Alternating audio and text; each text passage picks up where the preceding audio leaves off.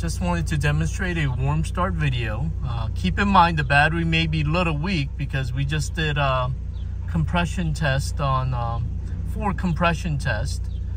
So the engine temperature is uh, in the middle because I drove it um, about uh, 30 miles to get here.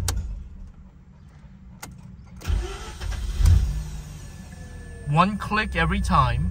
So um, the compression test showed that it's um, near perfect. All right, thank you.